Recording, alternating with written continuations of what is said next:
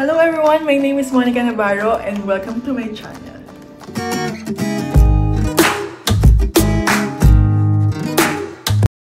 So, I decided for my first vlog in this channel is to answer 25 questions about me. And basically, sasagutin ko yung 25 question na yun for you guys to know me better. Let's get started.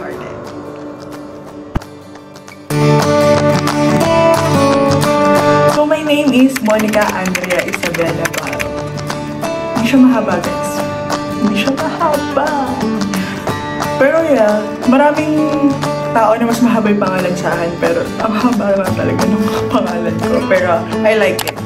Monica Andrea Isabella Baro. So mga hindi nakakaalam na mga kaibigan ko dyan guys, my name is Monica Andrea Isabella Baro. From Cabanatuan, Nueva Ecija, Philippines! How old am I? I'm 23. I'm 23 years old. I'm turning 24 on October 20.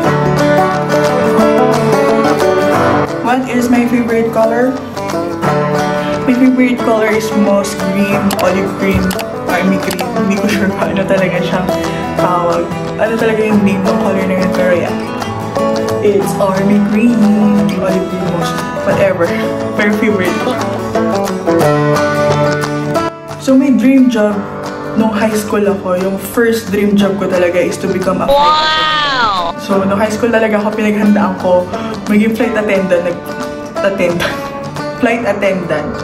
Kasi, ewan ko, gusto ko talaga mag-travel eh. Gusto mag-travel around the world. And, so, ang sabi sa akin ng mga tao, tao dati is kapag flight attendant ka, dapat sexy ka, dapat payat, payat ka, dapat payat ka, matangkad, maganda, yun, so pinaghandaan ko talaga yun. Nung high school ako, sobrang nagpapayat ako. Nagpapayat ako at the same time, nagpa, nagpa-brace ako. Ang dami, ang dami kong...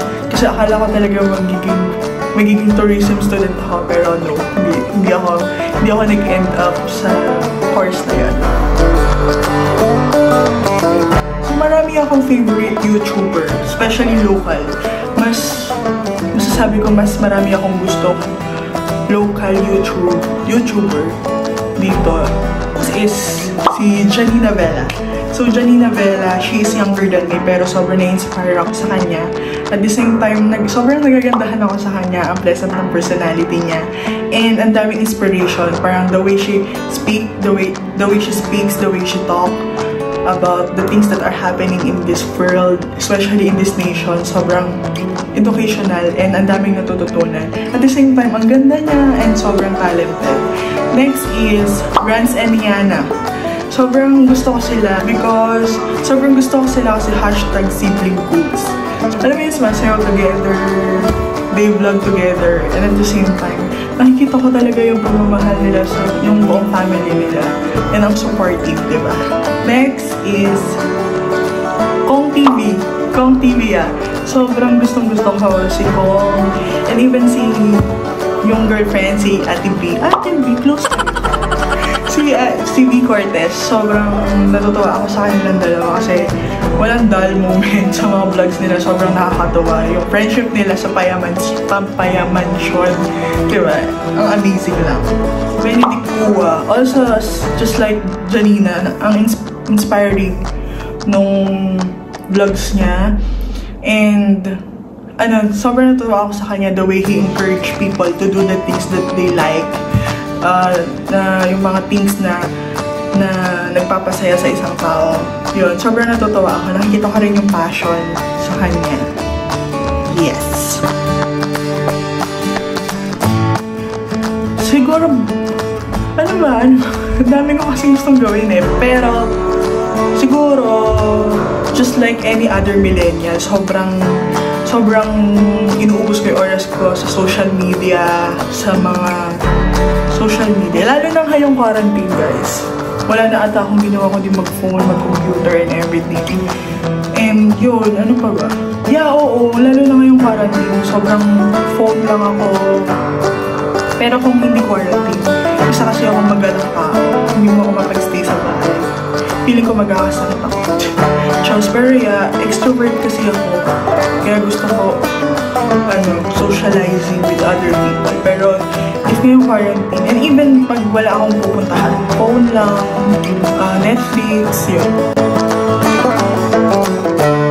Basically, Facebook, Instagram, Twitter, and TikTok. Guys, follow nyo ako. Messenger, I would like to chat with my friends kasi hindi naman kami araw-araw nagkikita. Sobrang bihira lalo ng mga high school friends, college friends, and other friends. Daming friends. Wow! What is the top of my bucket list? To travel the whole Philippines. I want to travel the whole Philippines. Ang weird ito pero naniwala talaga ako nung bata dito. Siguro yung, yung pag may pilitensya. Pag huwag ka daw magsusuot ng red kasi kakabulin ka nung nagpipilitensya. Ewan ko, ba't ako naniwala? Nakalimutan ko na rin kung sino yung nagsabi sa akin about nun. Pero ever since doon, kahit hindi ako nakapula, natatakot ako sa nagpipilitensya kasi feeling ko kulit nila ako. Tapos papaluin hanggang sa dumugo yung likod ko. And yeah, ewan ko, ba't ako pag nakapula, habulin? Ang weird ko. I would rather be na mag-overdress. Yeah, ewan ko. Depende kasi sa mood ko kung ano yung gusto kong suotin. Minsan, ang OA, pero gusto, gusto ko siyang ganun ako magdala sa sarili ko. Eh. It doesn't matter kung overdress ka or underdress ka. If kaya mong dalhin, go for it. And if not, huwag mo isuot kung hindi ka confident. Pero yes, I believe naman wala sa nagsus wala sa brand ng damit,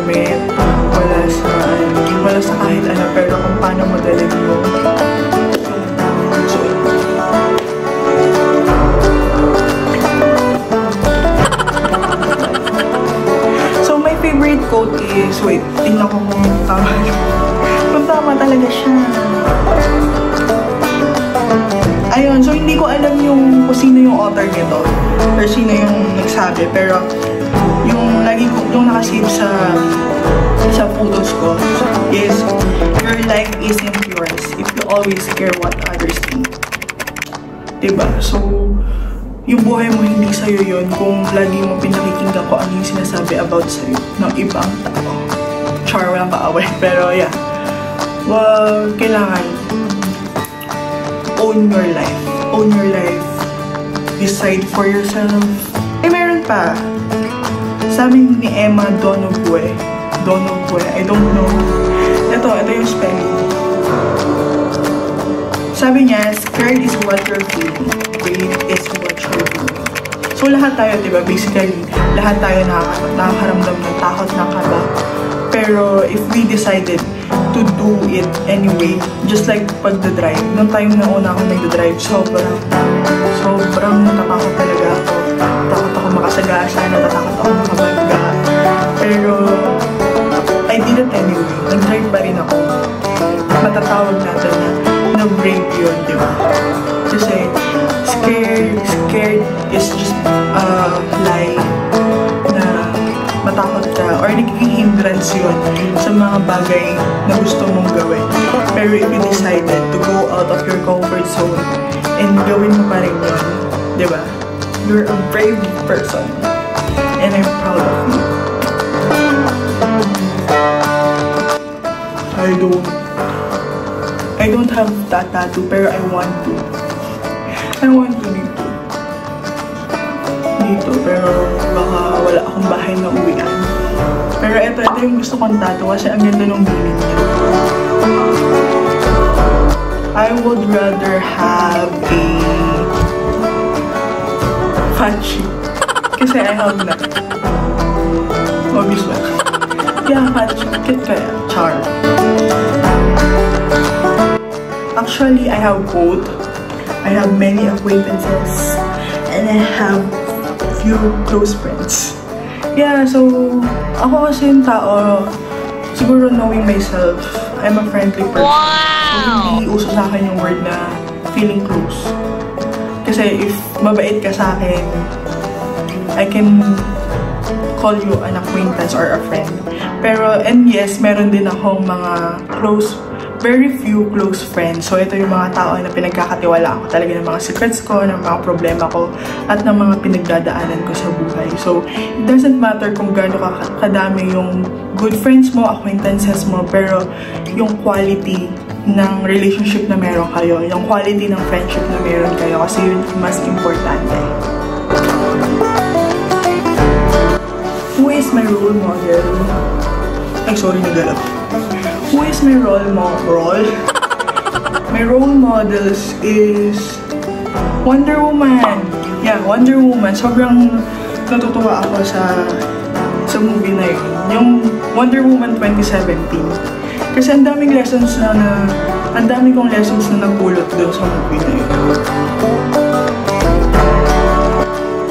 Ha, hashtag NBS me guys. No boyfriend says Madami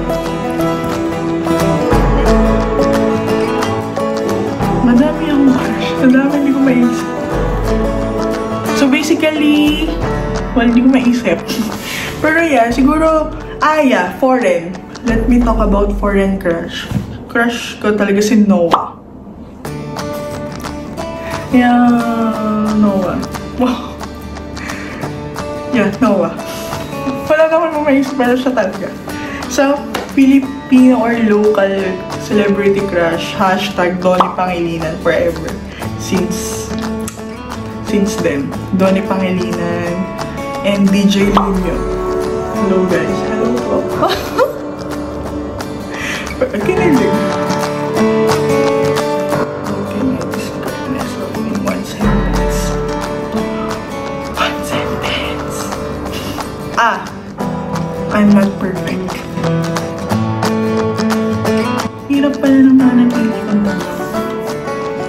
Ka na ginawa?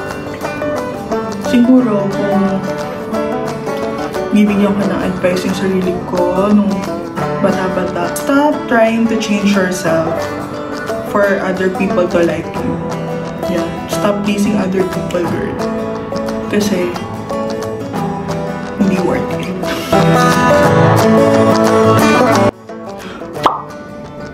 the whole world. Each country, each continent, yeah, basically the whole world.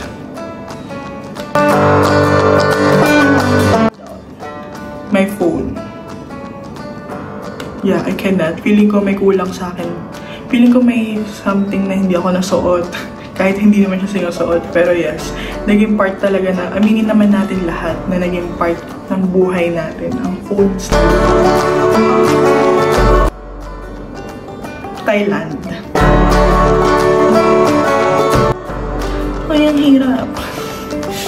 Lagi kong sinasabi sa sarili ko na huwag ka na maging iyakin kasi nakikita na, na feeling ko, ang tingin sa akin na ibang tao, ang weak-weak ko, napakahina ko, napaka-sensitive ko.